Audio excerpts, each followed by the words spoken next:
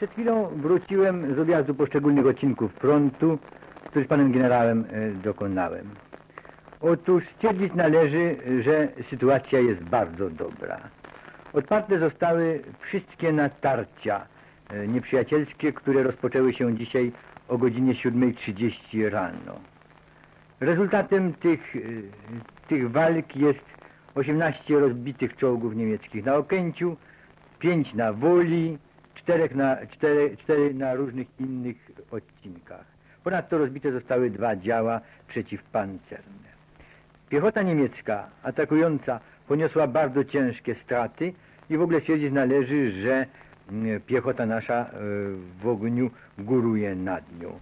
Niemcy ponieśli szczególnie mm, ciężkie straty od ognia naszych ciężkich karabinów maszynowych i broni ręcznej.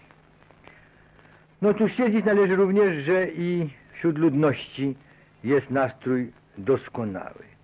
Wśród żołnierzy, jak już mówiłem, jest bardzo dobry. Generała Czumę dzisiaj e, wiwatowano na odcinku, kiedy się pokazywał, jak również i ludność cywilna zachowuje się mm, bardzo dobrze, a przede wszystkim e, kobiety, mm, warszawianki, które mają pogodne twarze i e, jak mogą tylko starają się e, przyjść żołnierzowi z pomocą.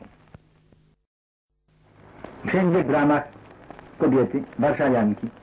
Rzeczywiście, tak jak wczoraj mówiłem i o co prosiłem, z uśmiechem i z pogodną twarzą mm, e, towarzyszą żołnierzom, opiekują się nimi, przynoszą papierosy, jedzenie. Niektóre może jeszcze, prawda, e, odcinki e, na kolonii Staszica widziałem, tam jest coś dość wymarło, wymarło i tam nie ma tej opieki. Warto by się tam niektórymi odcinkami zająć. Otóż, ale w ogóle można stwierdzić, że warszawianki są morowe. Mężczyzn widziałem mniej. No, po prostu dlatego, że ich w ogóle jest mniej, a w Warszawie w szczególności teraz jeszcze bardziej mało. Otóż, proszę Państwa, co tam wszyscy mówią na froncie, na odcinkach? No już mówią po pierwszym dniu wojny, że ona nie taka straszna.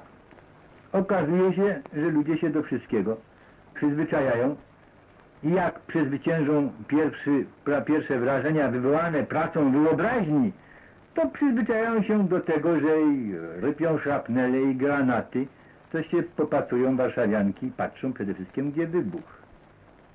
Otóż o to bym prosił. Prosiłbym, ażeby w tych miejscach, gdzie biegnie linia okopów, czy, bie- czy są przekopane ulice i y, obsada żołnierska stoi przy CKM-ach i działkach przeciwpancernych, ażeby w tych domach obok mm, wystawiano radia, głośniki, żeby te marsze wojskowe i muzyczkę, którą radio gra, słyszeli żołnierze.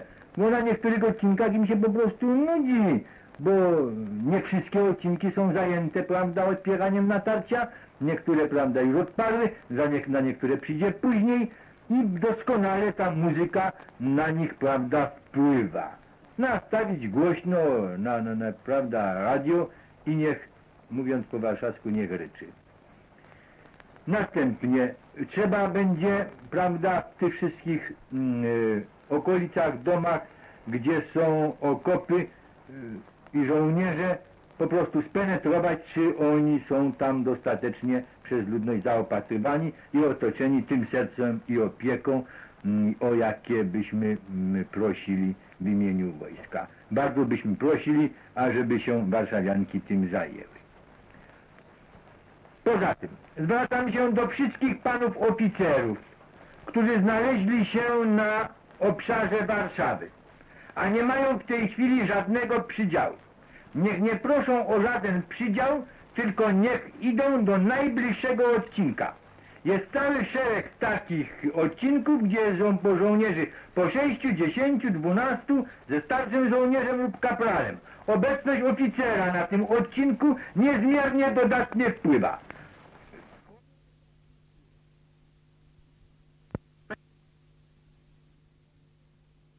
Oficer, który znajduje się w Warszawie, a nie ma przydziału, musi się znaleźć na linii walki.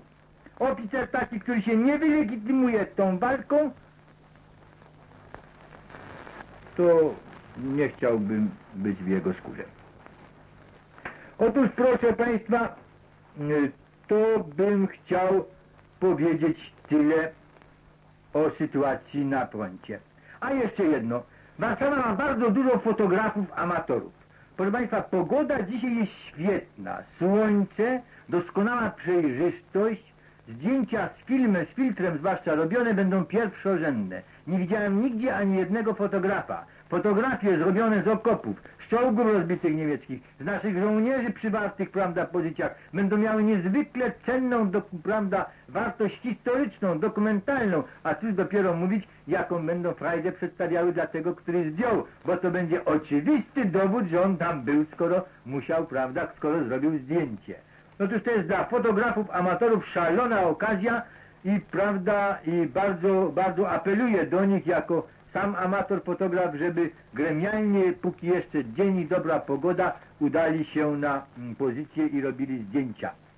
Później będę prosił, żeby one były przysyłane do biura historycznego. Ale to już po wojnie. Następnie, żołnierze nie mają wiadomości, więc ci, którzy, prawda, będą mieli radio wystawione, będą mieli przez radio ale w ogóle są pozbawieni zupełnie wiadomości, nie wiedzą co się dzieje na całym świecie, nie wiedzą co się dzieje w Polsce. Trzeba im dostarczać gazet. Środki lokomocji, jakie są y, do dyspozycji wojska, nie mogą być do tego celu użyte, dlatego są używane do ważniejszych rzeczy, jak do dowozu amunicji. Dlatego też okoliczni mieszkańcy, znowu się zwracam z apelem do warszawianek, niech się zajmą tym, ażeby żołnierze mieli świeże gazety. Po prostu zatelefonować do ekspresu porannego, który dzisiaj wyszedł, czy do innych gazet, zapytać się, prawda, czy mają na składzie dzisiejsze, dzisiejsze numery. Żadna z redakcji na pewno nie odmówi i da żądaną ilość. Bardzo łatwo, prawda, obliczyć ilu żołnierzy jest na danym odcinku, prawda, 12, 15, 100 czy 200, posłać jakiegoś harcerza, harcerkę, czy samemu, prawda, pójść do redakcji, wziąć tę ilość gazet, przynieść i rozdać żołnierzom. Jest to niezmiernie ważna rzecz, tym bardziej, że jak wiemy, prawda, z ogólnej sytuacji ona się bardzo poprawia i, yy, i to również wpływa na stan moralny yy, żołnierzy.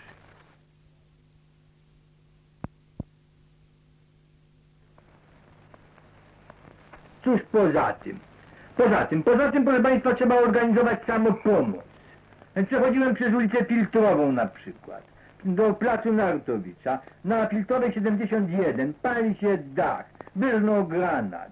Przechodzę tam, tamtędy z panem generałem Czumą, pierwszą stroną, on się tli, od tak sobie trochę pali, nikogo nie ma.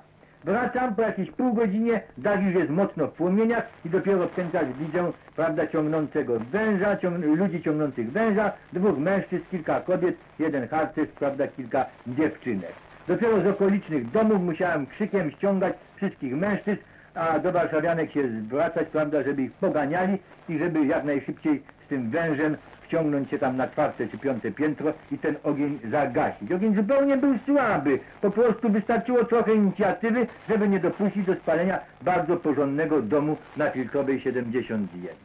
A więc trochę inicjatywy, zdecydowania, energii i można bardzo wiele zrobić na różnych odcinkach naszego wojennego życia, które Warszawa w tej chwili przeżywa.